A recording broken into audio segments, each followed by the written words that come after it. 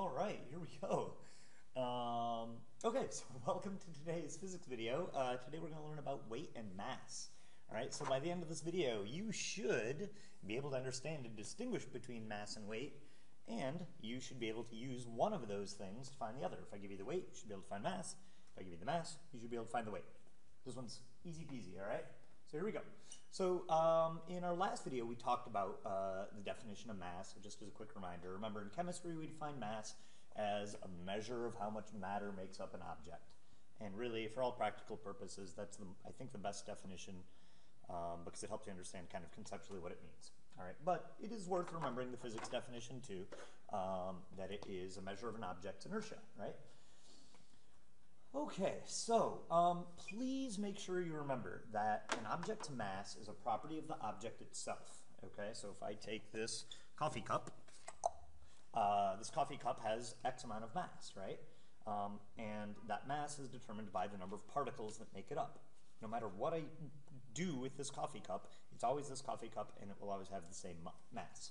Okay, no matter where I take it, whatever. All right, so um, we will, as I think you know by now, always measure mass in kilograms, okay? Really, we could use any form of grams, um, but, but because a newton, remember, is a kilogram meter per second squared, we really need to make sure that we stick with kilograms so that our units work out, okay? So we will always measure mass in kilograms, all right? So that's mass. We've talked about that. You know what, what it is, all right? Um, now, weight, all right? The definition of weight is the force of gravity acting on an object. Okay, the force of gravity acting on an object. All right, and for that reason, we use the symbol Fg to represent weight.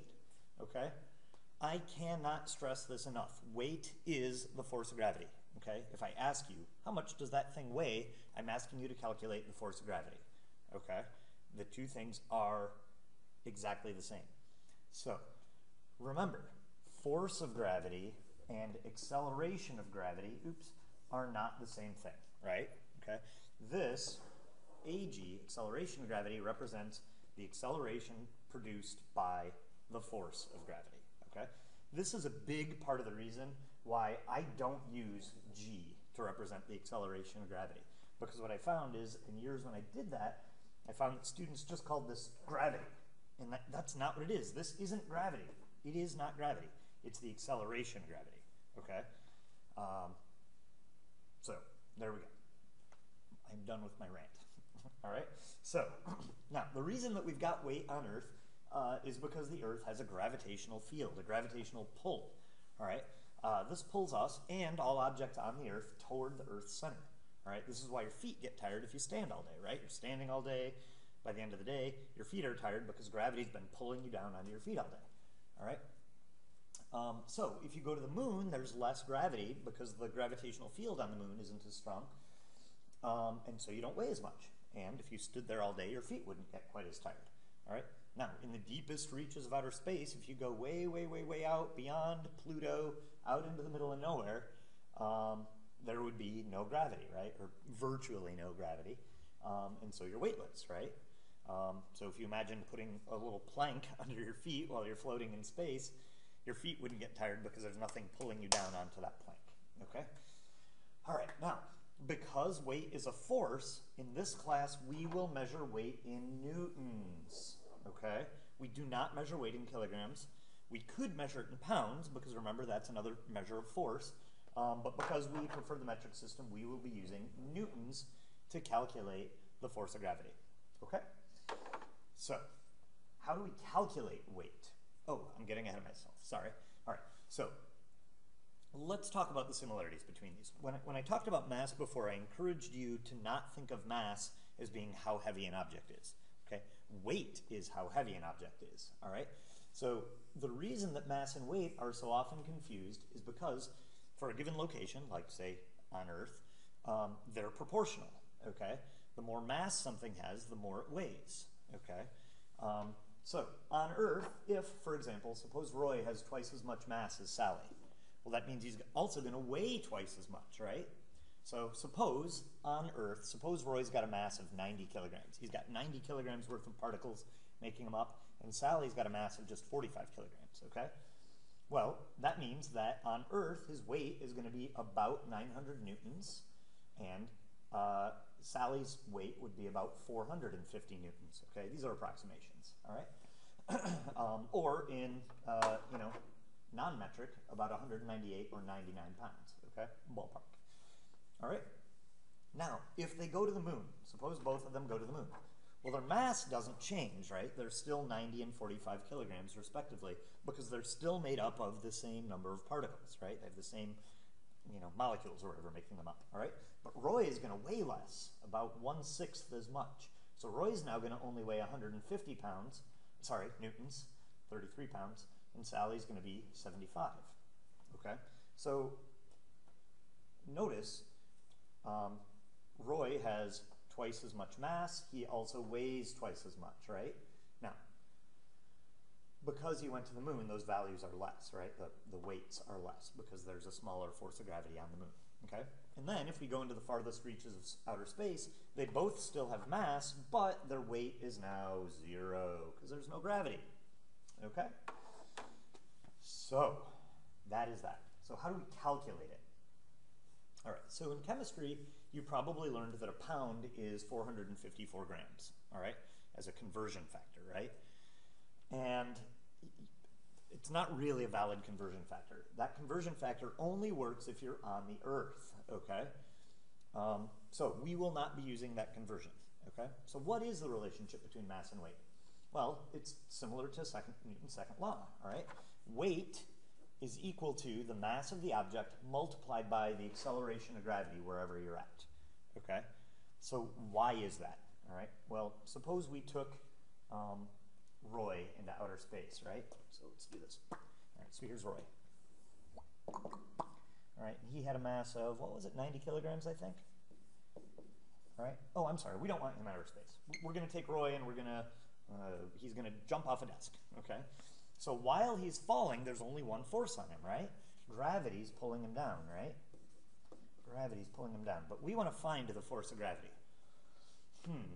Well, let's see. If gravity is the only force on him, he's in free fall. And so that means his acceleration is going to be negative 9.8 meters per second squared, right?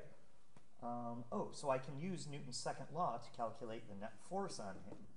Mass times acceleration. So let's see. His mass was 90 kilograms times negative 9.8, that's an 8 meters per second squared. Multiply this out and it gives you negative 882 newtons, right? Hmm. Oh, wait a minute, but if this is my net force, and the only force acting on him is gravity, what does the force of gravity have to be? Oh, it's got to be negative 882 newtons, right? Okay. Now, but the thing is, Roy doesn't have to be falling in order for this to be his weight, does he? Like once he lands, he's still going to weigh just as much. So how did we calculate this 882? Oh, well, we took the mass and we multiplied it by the acceleration he would have if he was falling, right?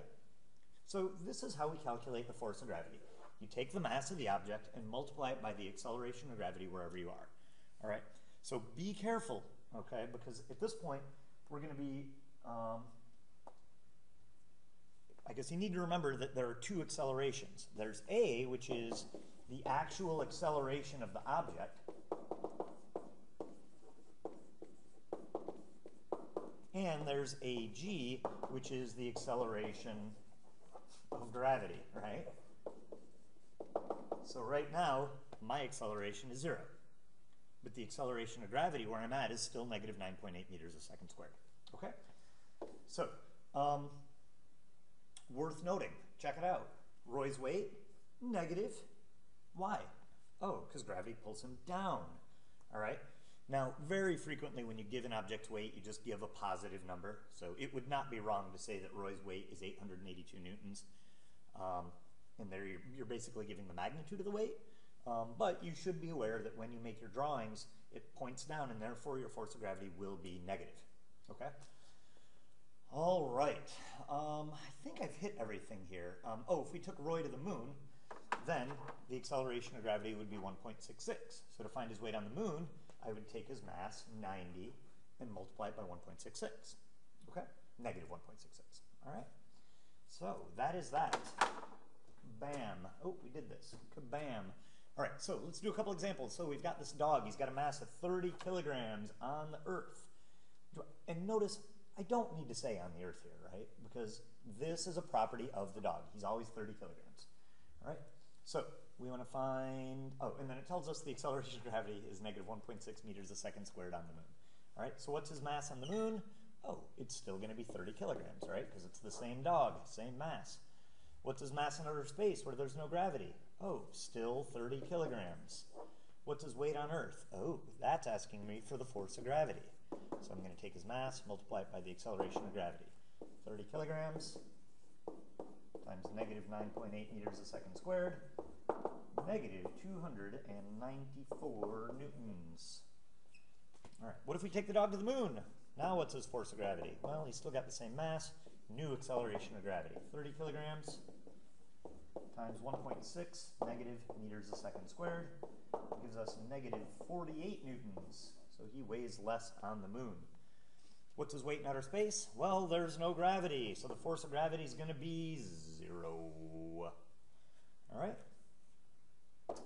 Finally, uh, let's go the other way. Suppose I give you the weight of something. So we've got this cow.